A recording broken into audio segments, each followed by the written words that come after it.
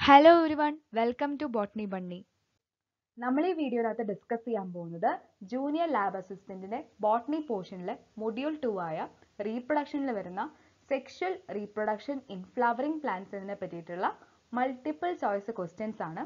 അപ്പോൾ ചാനൽ ഇതുവരെയും സബ്സ്ക്രൈബ് ചെയ്യാത്തവർ സബ്സ്ക്രൈബ് ചെയ്യുക. നിങ്ങൾക്ക് എന്തെങ്കിലും കമൻസോ ഡൗട്ടോ ഉണ്ടെങ്കിൽ കമന്റ് സെക്ഷനിൽ ഒന്ന് മെൻഷൻ ചെയ്യാനും മറക്കരുത്. അപ്പോൾ ആദ്യത്തെ ചോദ്യം which one is a female gametophyte ഇതിനകത്ത് ഏതാണ് ഫീമെയിൽ ഗാമറ്റോഫൈറ്റ് ആയിട്ട് പറയപ്പെടുന്നത്?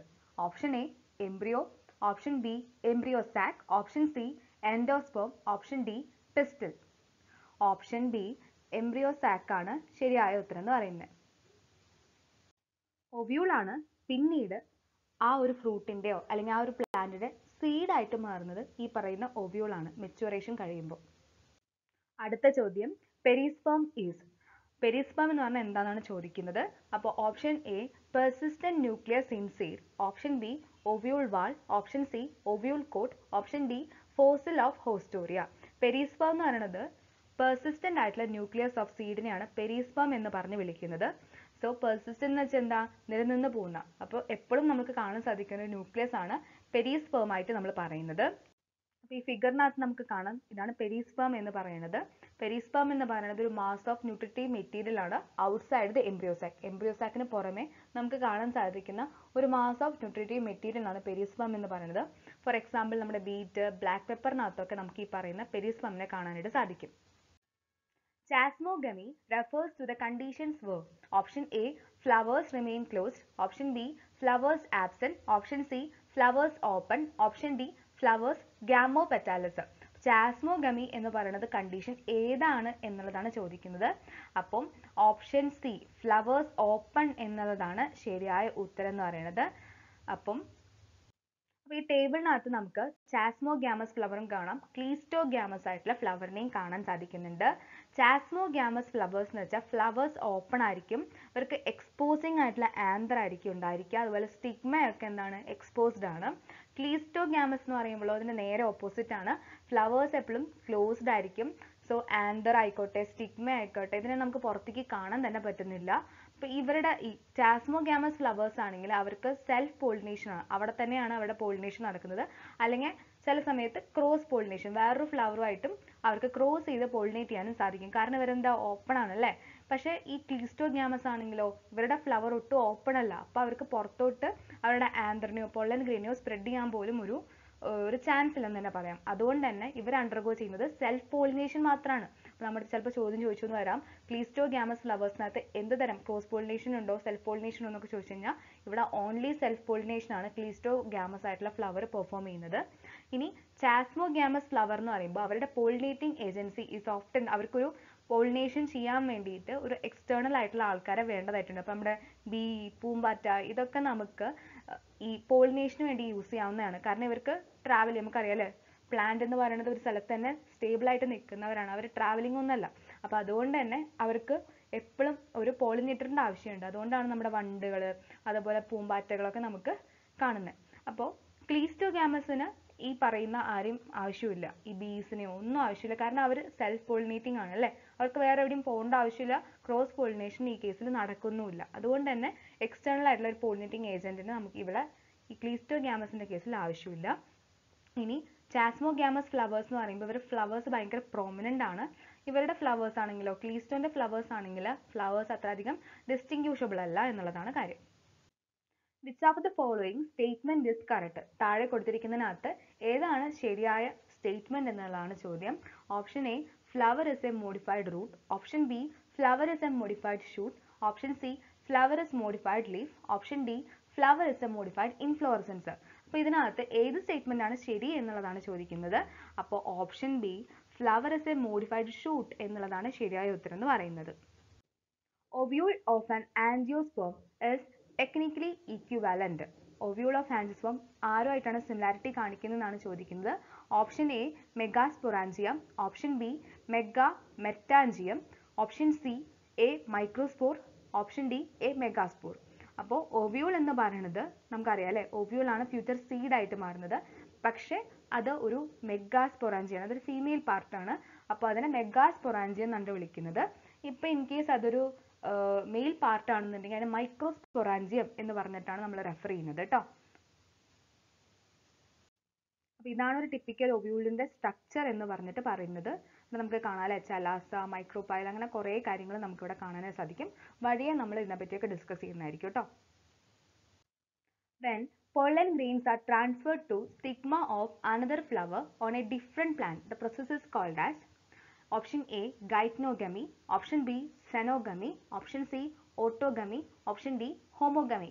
അപ്പോൾ ഓപ്ഷൻ ബി സെനോഗമി ആണ് ശരിയായ ഉത്തരം എന്ന് പറയുന്നത് അപ്പോൾ ഈ ഫിഗറിനകത്ത് സെൽഫ് പോളിനേഷൻ അതായത് ഓട്ടോഗമി ഗൈറ്റ്നോഗമി അതുപോലെ ക്രോസ് പോളിനേഷൻ എന്താണെന്ന് എവിടുന്നായിട്ട് കാണാൻ പറ്റുമെന്ന് വിചാരിക്കുന്നു.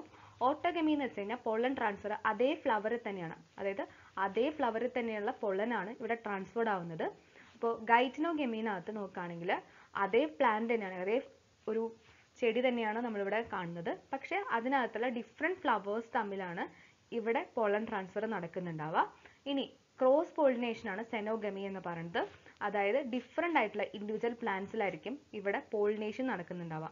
അപ്പം ഡിഫറെന്റ് ആയിട്ടുള്ള പ്ലാന്റ് അല്ലെങ്കിൽ ഇൻഡിവിജ്വൽ വെറൈറ്റീസ് ആണ് സെനോഗമിനകത്ത് പോളിനേഷനിൽ ഏർപ്പെടുന്നുണ്ടാവുക.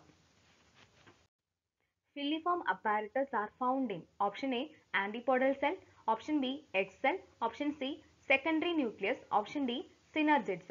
അപ്പോൾ ഫില്ലിഫോം അപ്പാരറ്റസ് നമുക്ക് എവിടെയാണ് കാണാൻ സാധിക്കുന്നത് എന്നുള്ളതാണ് ചോദിക്കുന്നത്. അപ്പം ഓപ്ഷൻ ഡി സിനർജിഡ്സ് ആണ് ശരിയായ ഉത്തരം എന്ന് പറയുന്നത്. ഈ പിക്ചറിനകത്ത് കാണാൻ സാധിക്കുന്നു വിചാരിക്കുന്നു. ഇതാണ് ഫില്ലിഫോം അപ്പാരറ്റസ് എന്ന് പറയുന്നത്. അപ്പോൾ ഇതിനെ നമുക്ക് കാണാൻ സാധിക്കുന്നത് നോക്കിക്കേ സിനർജിഡ്സിനകത്താണ് നമുക്ക് ഈ പറയുന്ന ഫില്ലിഫോം അപ്പാരറ്റസിനെ കാണാനായിട്ട് സാധിക്കുന്നത്.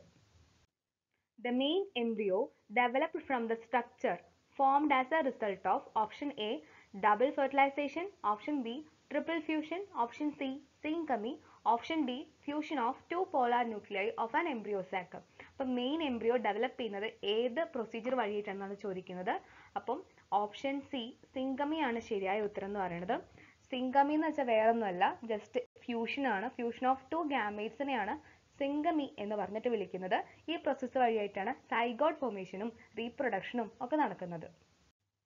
The fusion product of polar nuclei and male gamete is option A nucleus, option B primary endosperm nucleus option C zygote option D secondary nucleus അപ്പോൾ പോളാർ ന്യൂക്ലിയയും മെയിൽ ഗാമേറ്റും തമ്മിൽ ഫ്യൂഷൻ ചെയ്യുമ്പോൾ കിട്ടുന്ന പ്രൊഡക്റ്റ് എന്താണ് എന്നുള്ളതാണ് ചോദിക്കുന്നത്.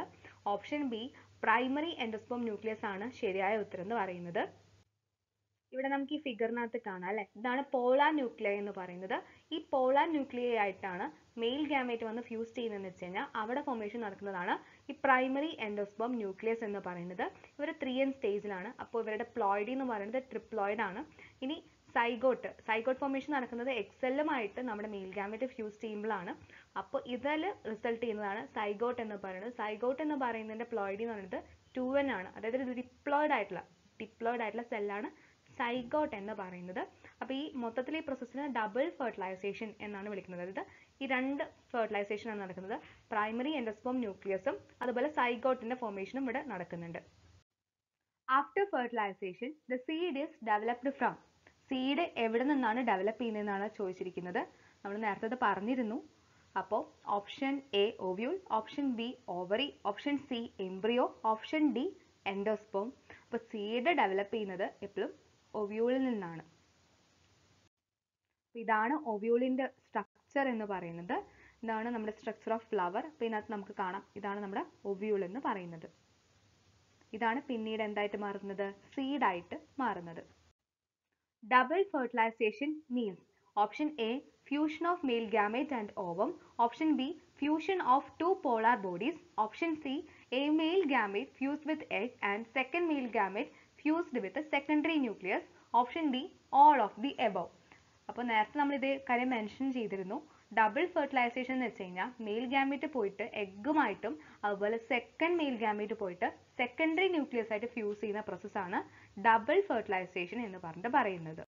ഇവിടെ നമുക്ക് കാണാം ഡബിൾ ഫെർട്ടിലൈസേഷനെ പറ്റിയിട്ട് ഫ്യൂഷൻ ഫസ്റ്റ് ഫ്യൂഷൻ എന്ന് പറയുന്നത് മെയിൽ ഗാമേറ്റും അതുപോലെ എഗ്ഗുമായിട്ടാണ് രണ്ടും ഹാപ്ലോയിഡ് ആണ്. അതായത് ഒരു എൻ ആണുള്ളത്. ഇത് വഴി ഫോം ചെയ്യുന്ന സൈഗോട്ട് എന്ന് പറയുന്നത് ടു എൻ ആണ് ഫോം ചെയ്യുക. ഇനി സെക്കൻഡ് ഫ്യൂഷൻ എന്ന് പറയുന്നത് മെയിൽ ഗാമേറ്റ് അത് ഹാപ്ലോയിഡ് ആണ്. സെക്കൻഡറി ന്യൂക്ലിയസ് ആയിട്ടാണ് ഫ്യൂസ് ചെയ്യുന്നത്. ഇങ്ങനെ സെക്കൻഡറി ന്യൂക്ലിയസ് ആയിട്ട് ഫ്യൂസ് ചെയ്ത് കഴിഞ്ഞ് കഴിഞ്ഞാൽ സെക്കൻഡറി ന്യൂക്ലിയസ് ആയിട്ട് ഫ്യൂസ് ചെയ്ത് കഴിഞ്ഞാൽ നമുക്കിവിടെ കാണുന്ന പ്രൈമറി എൻഡോസ്പോം ന്യൂക്ലിയസ് ആണ് ഫോം ചെയ്യുന്നത്. അപ്പോൾ അതിനെയാണ് നമ്മൾ എൻഡോസ്പോം എന്നൊക്കെ പറഞ്ഞിട്ട് വിളിക്കുന്നത്.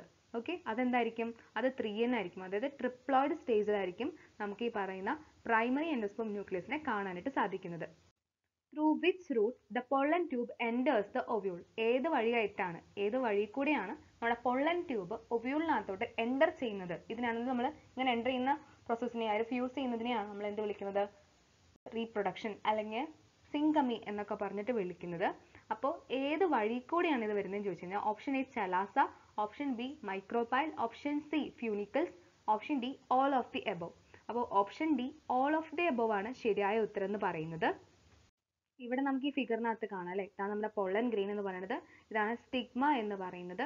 അപ്പോൾ pollen germinate on stigma to give rise to pollen tube and it's a part of pollen pistil interaction pollen pistil interactions വഴിയായിട്ട് പൊള്ളൻ ഗ്രെയിൻസ് ജെർമിനേറ്റ് ചെയ്ത് മെച്ചുവർ ആവുന്നുണ്ട്. വൺസ് നമ്മുടെ പൊള്ളൻ ട്യൂബ് ഫോർമേഷൻ നടന്ന് ഈ പൊള്ളൻ ട്യൂബ് എന്ന് പറയുന്നത് ഓവറിനടുത്തേക്ക് എത്താൻ വേണ്ടിയിട്ട് പല വഴികൾ ഇത് അഡോപ്റ്റ് ചെയ്തെന്ന് വരാം. അപ്പോൾ അതിലൊന്നാണ് പോറോഗെമി എന്ന് പറയുന്നത്. പോറോഗെമി എന്ന് വെച്ച് കഴിഞ്ഞാൽ പൊള്ളൻ ട്യൂബ് ഒവ്യൂളിനകത്തോട്ട് എന്റർ ചെയ്യുന്നത് മൈക്രോപൈൽ റീജിയൻ വഴിയായിട്ടാണെങ്കിൽ അതിനെ പോറോഗമി എന്ന് പറഞ്ഞിട്ടാണ് വിളിക്കുന്നത്. ഇനി നെക്സ്റ്റ് ചലാസൽ എന്ത് വഴിയായിട്ടാണ് പൊള്ളൻ ട്യൂബ് ഒവ്യൂളിനകത്തോട്ട് എന്റർ ചെയ്യുന്നതെന്നുണ്ടെങ്കിൽ അതിനെ നമ്മൾ ചലാസോഗമി എന്ന് പറഞ്ഞിട്ടാണ് വിളിക്കുന്നത്. ഇഫ് നമ്മുടെ പൊള്ളൻ ട്യൂബ് ഒവ്യൂളിനകത്തോട്ട് എന്റർ ചെയ്യുന്നത് ഫ്യൂണിക്കിൾസ് വഴിയായിട്ടാണെങ്കിൽ അതിനെ മീസോഗമി എന്ന് പറഞ്ഞിട്ടാണ് വിളിക്കുന്നത്. അപ്പം ഈ എല്ലാ വഴി വഴിയായി ഈ എല്ലാ വഴിയിലൂടെയും ആക്ച്വലി നമ്മുടെ പൊള്ളൻ ട്യൂബ് എന്ന് പറയുന്നതിന് എന്റർ ചെയ്യാവുന്നതാണ്. നമ്മുടെ ഒവ്യൂളിനകത്തോട്ട് എന്റർ ചെയ്യാവുന്നതാണ്. ഇവിടെ നമുക്ക് ഒവ്യൂളിന്റെ സ്ട്രക്ചർ കാണാനായിട്ട് സാധിക്കുന്നുണ്ട്. ഇതാണ് ചലാസ എന്ന് പറയുന്നത്. ചലാസ വഴിയായിട്ടാണ് പൊളാൻ ട്യൂബ് എന്ന് പറയുന്നത് എന്റർ ചെയ്യുന്നുണ്ടെങ്കിൽ അതിനെ ചലാസോഗമി എന്ന് പറഞ്ഞിട്ടാണ് വിളിക്കുന്നത്. ഇഫ് ഇൻ കേസ് നമ്മുടെ മൈക്രോ മൈക്രോപൈൽ വഴിയായിട്ടാണ് പൊള്ളൻ ട്യൂബ് ഒവ്യൂളിനകത്തോട്ട് എന്റർ ചെയ്യുന്നുണ്ടെങ്കിൽ അതിനെ വിളിക്കുന്ന പേരെന്താണ്? പോറോഗമി എന്നാണ്. ഇതാണ് ഫ്യൂണിക്കിൾ എന്ന് പറയുന്നത്. ഈ ഫ്യൂണിക്കിൾ വഴിയായിട്ടാണ് പൊള്ളൻ ട്യൂബ് ഒവ്യൂളിനകത്തോട്ട് എന്റർ ചെയ്യുന്നുണ്ടെങ്കിൽ അതിനെ വിളിക്കുന്ന പേരാണ് മീസോഗമി എന്നുള്ളത്.